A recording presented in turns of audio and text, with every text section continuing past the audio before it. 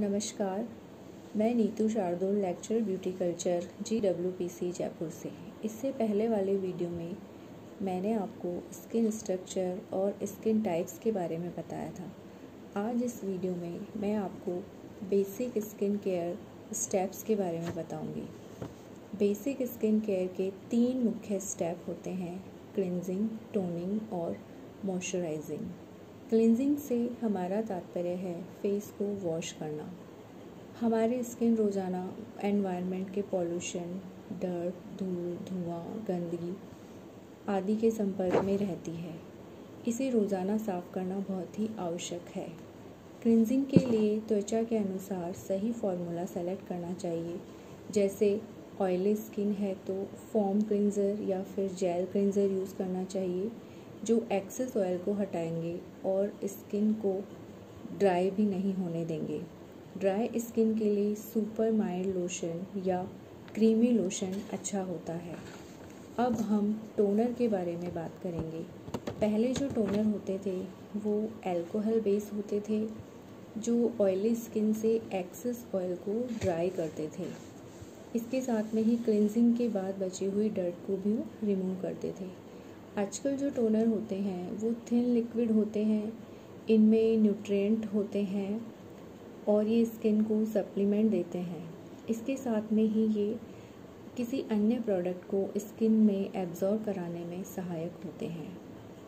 Dry skin पर cleansing के बाद सीरम यूज़ करना चाहिए। इनमें पावरफुल इंग्रेडिएंट्स होते हैं। और इनके मॉलिक्यूल्स काफ़ी स्मॉल होते हैं, जो स्किन में जल्दी ही एब्जॉर्ब हो जाते हैं और ये फाइन लाइंस और रिंकल्स पर काम करते हैं। अब हम मॉइस्चराइज़र के बारे में बात करेंगे। मॉइस्चराइज़र का बेसिक फ़ंक्शन जो है स्किन को सॉफ्ट करना और नमी देना है। मॉइस्चराइज़र की आवश्यकता हर तरह के स्किन को होती है। ड्राई स्किन के लिए ऑयल बेस्ड मॉइस्चराइज़र यूज़ करना चाहिए। क्रीम और क्रीमी लोशन भी यूज़ किए जा सकते हैं। अगर ऑयली स्किन है तो जेल बेस्ड मॉइस्चराइज़र सेलेक्ट करना चाहिए। ये स्किन में तुरंत एब्जॉर्व हो जाते हैं। ये लाइट वेट होते हैं वाटर बेस होते हैं। नॉर्मल और कॉम्बिनेशन स्किन के लिए हम लोशन सेलेक्ट करते हैं। स्किन केयर के वैसे तो ये तीन मेन स्टेप होते हैं, लेकिन सनस्क्रीन से भी अपनी स्किन को प्रोटेक्ट करना एक बहुत ही आवश्यक स्टेप है, क्योंकि सन रेज से स्किन ड्राई हो जाती है फाइन लाइंस और रिंकल्स डेवलप हो जाते हैं पिगमेंटेशन बढ़ जाता है, इसलिए कम से कम 30 एस वाला सनस्क्रीन रोज़ाना ज़रूर अप्लाई करना चाहिए। इसके अलावा, वीक में एक बार स्किन को एक्सफ्लो एक्सफोलिएट करना चाहिए, जिससे कि डेड स्किन रिमूव हो जाती है, ब्लड सर्कुलेशन इम्प्रूव होता है, जिससे कॉम्प्लेक्शन बेटर होता है।